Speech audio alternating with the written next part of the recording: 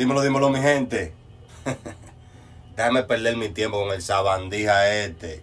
Para que el mensaje quede claro. Que siempre vive criticando a Yailin. Que no tiene talento. Pero tú tienes como 50 años y talento tú no has demostrado ninguno. El hijo tuyo lleva años más que Yailin tratando de pegar un tema y tú invierte, invierte y nada de nada porque no gusta. Te voy a decir algo, Moluco, porque puedo ofenderte.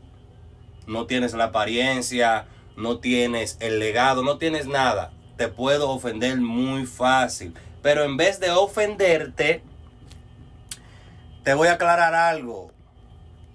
Papucho, hoy en día el talento no existe.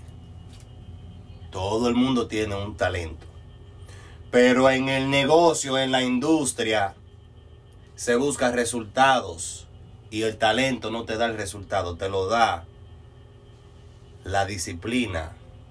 Te lo da ese don divino que te da Dios de los hijos de Dios. Nadie se burla y escucha. Si fuera por ustedes y Yailin no tuviera esa disciplina, y ojo, tiene mucho, mucho talento. Tiene más talento que muchos artistas que hoy en día solo cantan con Aurozoom, hasta en tarima.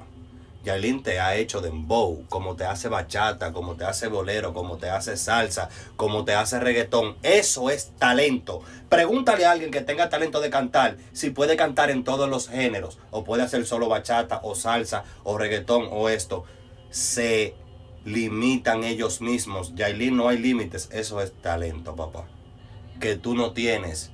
Porque después que te votaron de la estación de radio, tú no has vuelto a pegar una. Esta fue la última vez que tú te fuiste viral. ¿Y viral con quién? Mencionando a Yailin. Entren al canal de este puerco en vida y pongan Yailin para que ustedes vean que los videos más virales de él son de Yailin.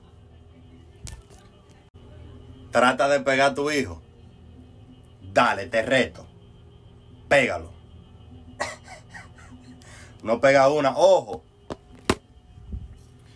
Tú eres como eh, el otro, mano negra, que nada más le tiran a las mujeres. A los hombres lo viven con los granos en la boca y la ñ.